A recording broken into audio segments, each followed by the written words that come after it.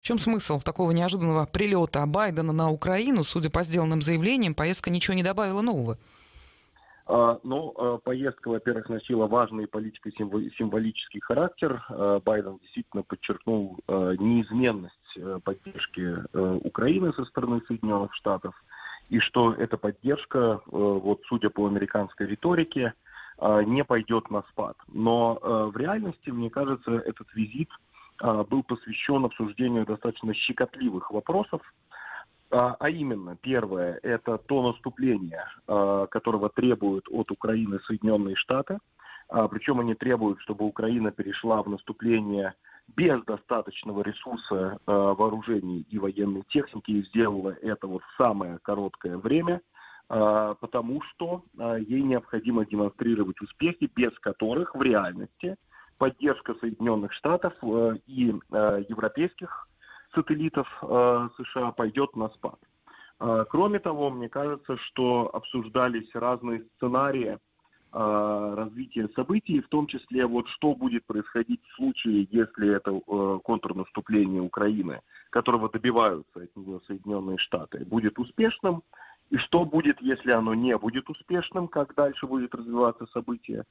А, что должно произойти для того, чтобы оно было успешным, и на каких условиях и при каких критериях можно будет переходить к дипломатии и хотя бы перемирию и политико-дипломатическому урегулированию конфликта, потому что совершенно очевидно, что Соединенные Штаты не поддерживают официальную запросную позицию Киева о том, что необходимо в качестве предварительного условия вернуть все территории, а, включая Крым. Э, Соединенные Штаты, э, думаю, добиваются от Киева готовности э, перехода к дипломатии вот сразу после того, как вот это вот наступление Киева, которого сами Соединенные Штаты и добиваются, будут успешным в случае, если оно будет успешным и ВСУ удастся выйти на побережье Азовского моря, чего, я думаю, с большой вероятностью не произойдет. Белый дом заявил, что Пентагон, сам Белый дом, секретная служба планировали поездку Байдена месяцами, и что этот визит был согласован с Россией. Что это означает? А, это означает, что а, механизм деконфликтинга между Вашингтоном и Москвой сохраняется, а, что несмотря на ужасающее состояние отношений, на их конфронтационность, которая перекрывает худшие периоды холодной войны, тем не менее, а, стороны сохраняют контроль над ситуацией, сохраняют вот механизм коммуникации а, для избежания прямого военного столкновения. И на самом деле и администрация Байдена тоже привержена тому, чтобы все-таки избежать и прямого военного столкновения Россия-США, Россия-НАТО, и тем более ядерной войны. А из этого уже следует, что вероятность того, что Соединенные Штаты предоставят в обозримой перспективе Киеву дальнобойные ракеты и истребители, равна нулю.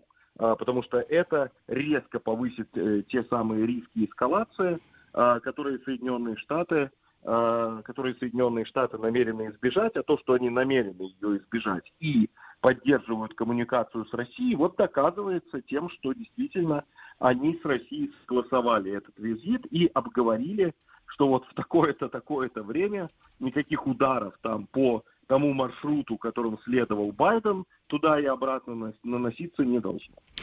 Дмитрий Вячеславович, а можно вот так рассуждать, что вместо чрезмерных военных поставок Украине Киев получил э, визит живого Байдена? Ну, такая замена.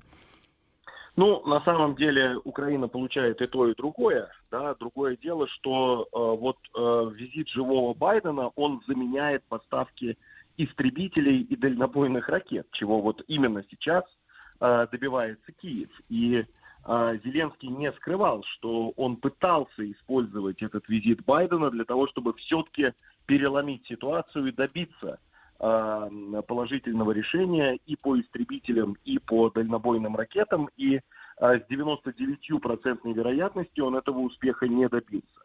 А что касается бронетехники, там, танков и э, хаймерсов, боеприпасов и так далее, то э, эти поставки идут, правда, они идут не так э, бойко, как хотелось бы и Западу, и Киеву. Мы видим, что с танками чрезвычайные проблемы. Вот, но тем не менее, да, именно поэтому Соединенные Штаты требуют от Киева, чтобы он и без танков переходил в наступление.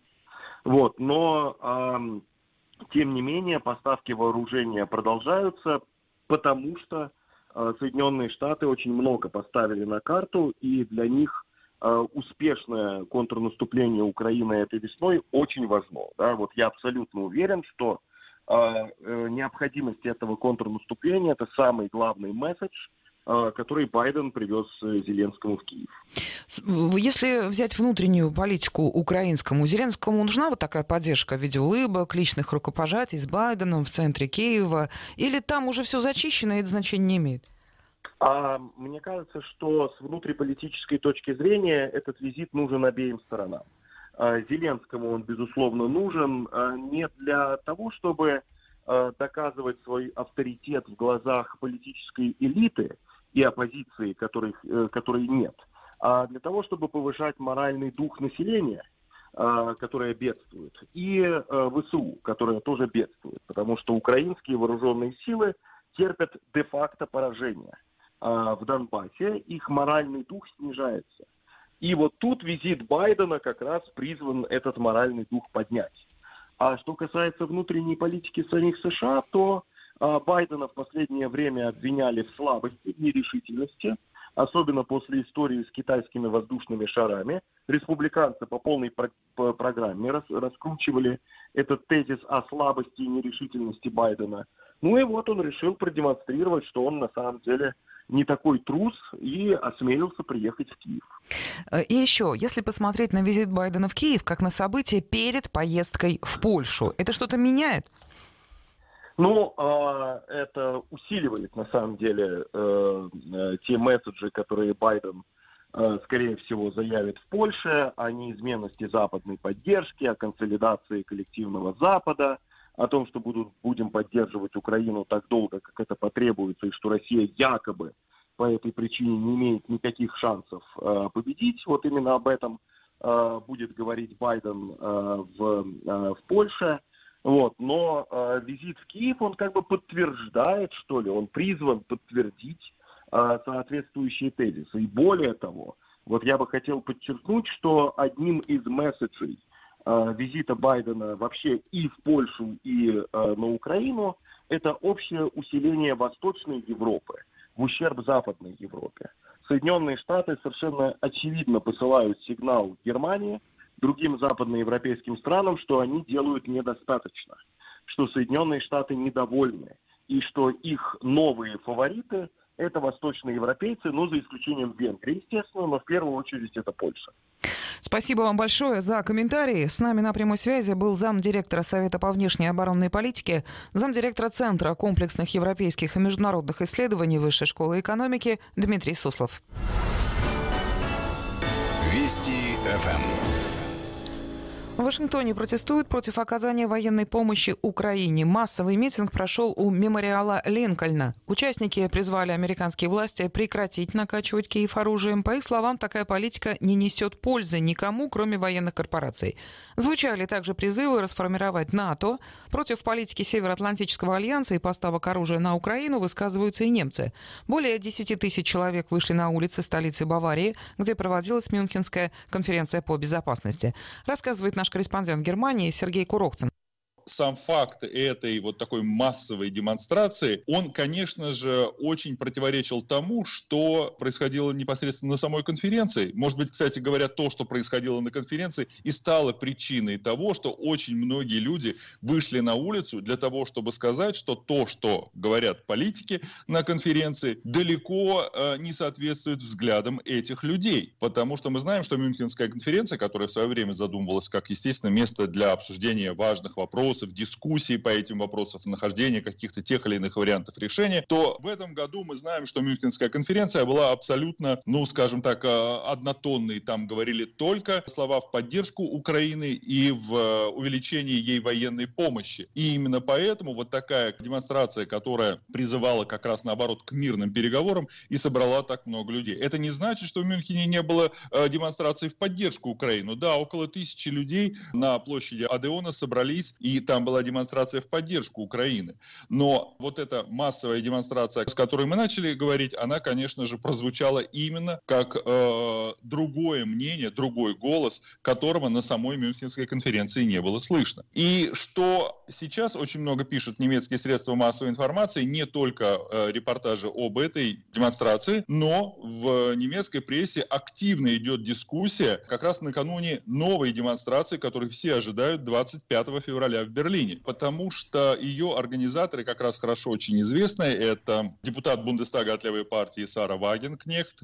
Она была, наверняка наши многие слушатели помнят, одним из лидеров левой партии Германии. Сейчас она находится с левой партией, ну, в достаточно сложных отношениях, работает простым депутатом. И вторым автором вот этого манифеста мира, как они его назвали, открытого письма, стала Алиса Шварцер. Это известная в Германии активистка борьбы за права женщин. Так вот, они написали манифест мира, которым призвали, при этом оговорившись, что они выступают за поддержку Украины, это нужно сразу сказать, но при этом они пишут, да, нужно оказывать поддержку, но только не оружием, и уж тем более не увеличивая поставки оружия, а именно дипломатией. И задача Германии, по мнению вот авторов этого манифеста, как раз возглавить не а, поставки оружия, о чем с гордостью говорил Олаф Шольц на той же Мюнхенской конференции, гордясь тем, что из стран Европейского Союза Германия больше всего поставила оружие. Нет, пишут авторы манифеста, Германия должна возглавить альянс за переговоры и прекращение огня. Именно поэтому манифест они назвали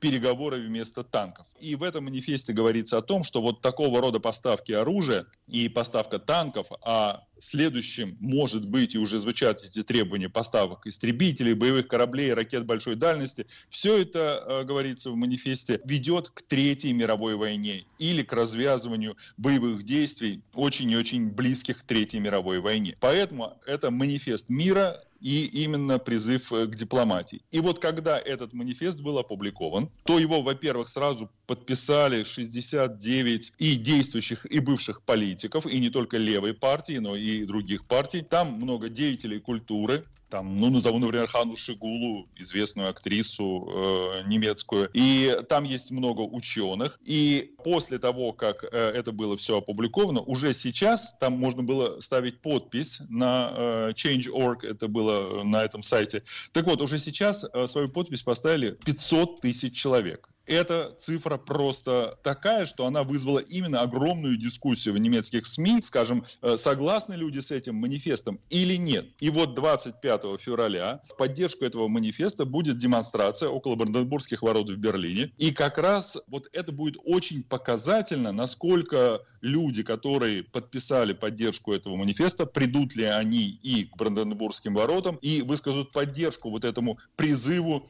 переговорам, к прекращению э, боевых действий и началу поиска дипломатических решений украинского конфликта. Как сказала в интервью немецким СМИ один из авторов этого манифеста, как раз вот э, Алиса Шварца, она сказала, что мы хотим дать голос молчаливой половине населения Германии, потому что что бы мы ни слышали от немецких политиков, все опросы общественного мнения так или иначе всегда показывают, что население Германии делится примерно пополам. Половина выступает за увеличение военной помощи, в том числе тяжелого вооружения, вооружений Украины. Вторая половина как раз призывает быть сдержанным в этом вопросе. И именно вот эта половина, как считает э, Алиса Шварцер, должна получить возможность высказать свое мнение. Так что, очевидно, именно это и произойдет в следующую субботу э, в Берлине у Бранденбургских ворот.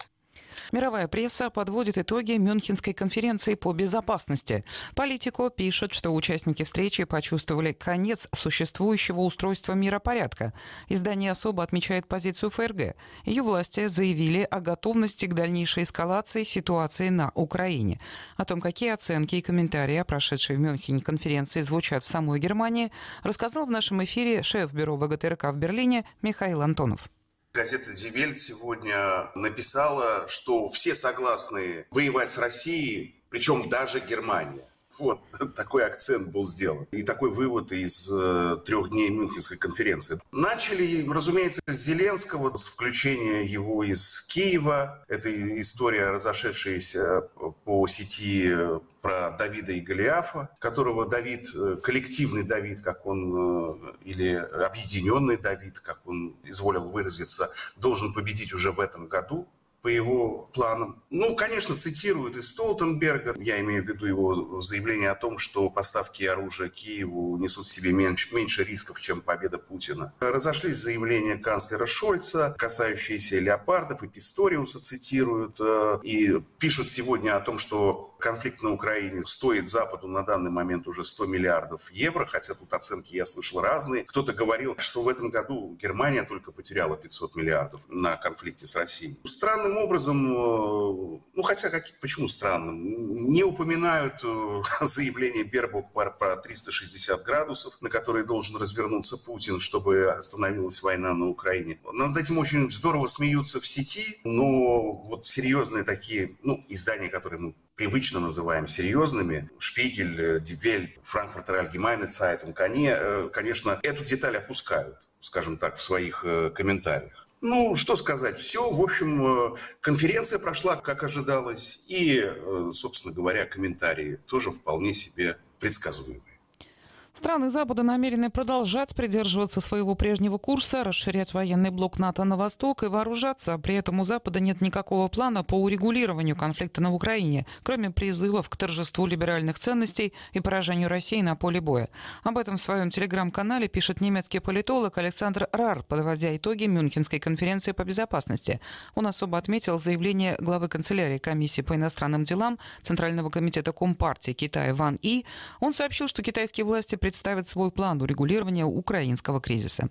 Выступление Китая Ван э, И можно назвать самым интересным и важным событием Мюнхенской конференции. Такое мнение в нашем эфире выразил программный директор Валдайского клуба Тимофей Бардачев.